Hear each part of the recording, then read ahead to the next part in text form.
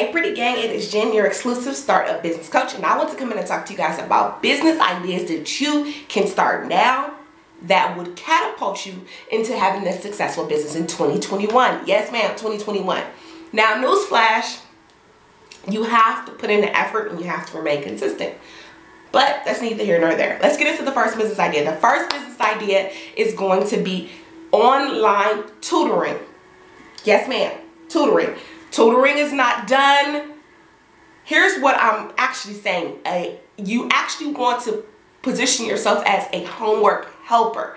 Here's why.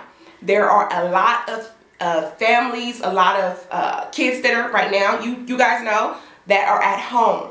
But um, some some parents don't know how to use the computer. They don't know how to check their their kids' Google Classroom, Class Dojo, Adobe Connect, Zoom, all of that. So if you can actually build a business around being a homework helper and pretty much making sure the child's homework is done, all the assignments are in, and having a report for the parents, so that's one less thing that they have to worry about, you will make a massive amount of money on the backs of two things. Kids are actually needing help with this and the parents do not know how to use it. They're not trying to figure out. If you can come in and you can help that need, that would be awesome, awesome, awesome. Okay, so that's the first business, a tutoring business. Okay, the second business that you want to go ahead and start is for those who do hair.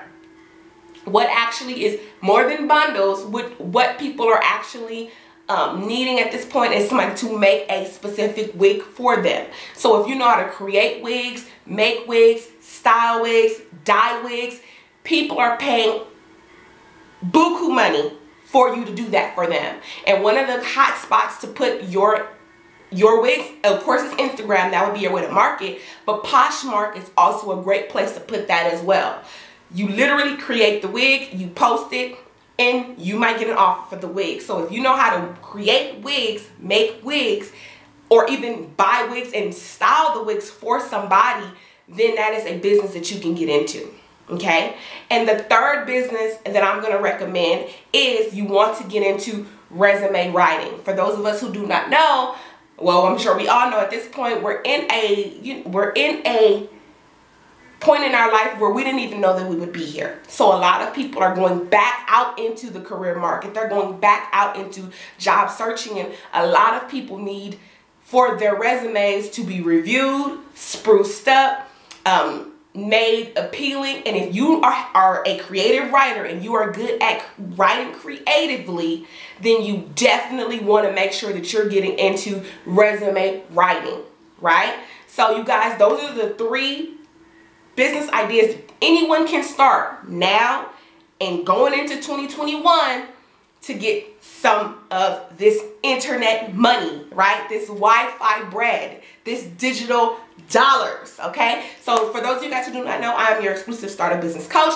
In the description below, I want you to make sure you're checking out my 50 50 point checklist for the brand new business owner where I pretty much tell you, hey, these are the things that you're gonna need for your business, right? To start your business. So when you guys get a chance, check that out in the description. Again, I'll talk to you guys later. Bye, y'all.